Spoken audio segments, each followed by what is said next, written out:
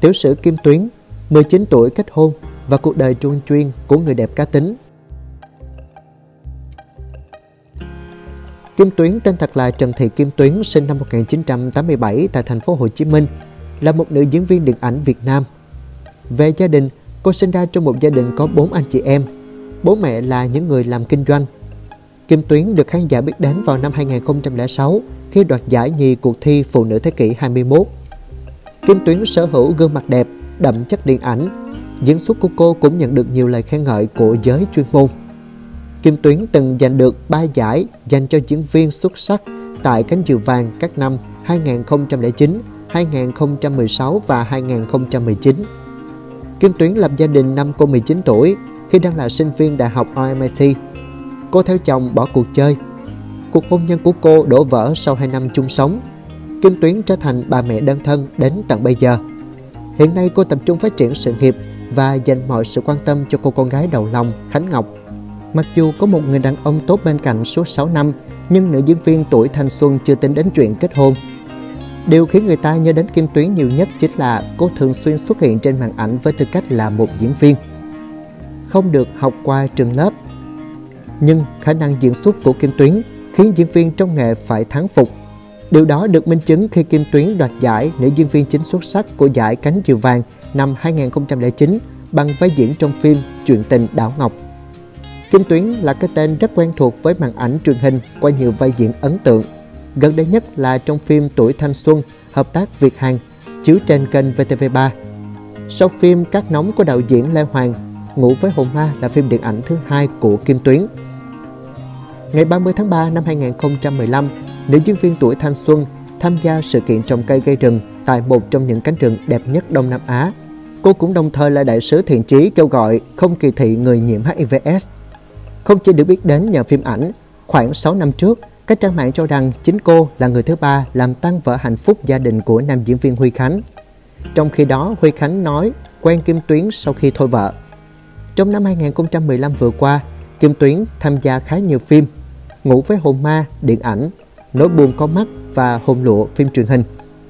Với Kim Tuyến, dù đang làm bà mẹ đơn thân, nhưng xem ra niềm đam mê phim ảnh của cô vô cùng mãnh liệt để sự xuất hiện của mình không bị gián đoạn lâu trước sự mong đợi của những người yêu mến Kim Tuyến.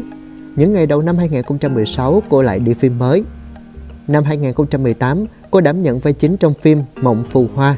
Vai diễn đã mang về cho nữ diễn viên những đề cử danh giá, giúp cô tạo dựng được vị trí vững chắc trong bản đồ showbiz Việt. Từng có lúc Kim Tuyến xúc động trải lòng, diễn xuất là ngọn hải đăng soi sáng cuộc đời tôi. Sau thành công của bộ phim Muôn kiểu làm dâu, người đẹp trở nên kính tiếng hơn đồng thời cũng không bật mí điều gì về những dự án sắp tới.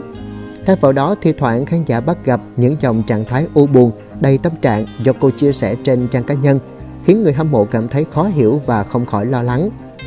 Chia sẻ về khoảng thời gian ở ẩn gần đây, người đẹp trái lòng, thời gian vừa qua cô rơi vào trạng thái stress khi cảm thấy trên vênh và không còn nhiều nhiệt huyết với nghề như trước nữa. Tuy hoạt động nghệ thuật đã hơn 10 năm, Kim Tuyến từng trải qua nhiều cám dỗ gian truân nhưng chưa một lần người đẹp nghĩ đến chuyện bỏ cuộc.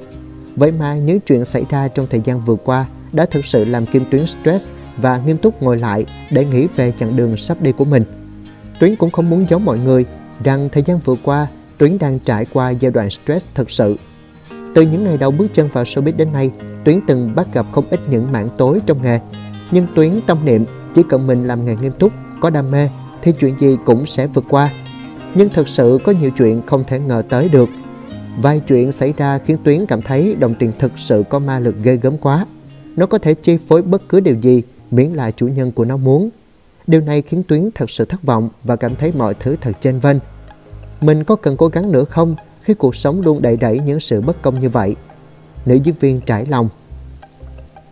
Tham gia nghệ thuật từ năm 21 tuổi, Kim Tuyến không phục sáng ngay từ những kịch bản đầu tay mà cô từng vướng phải những lời chê bai để nhận ra những thiếu sót của bản thân.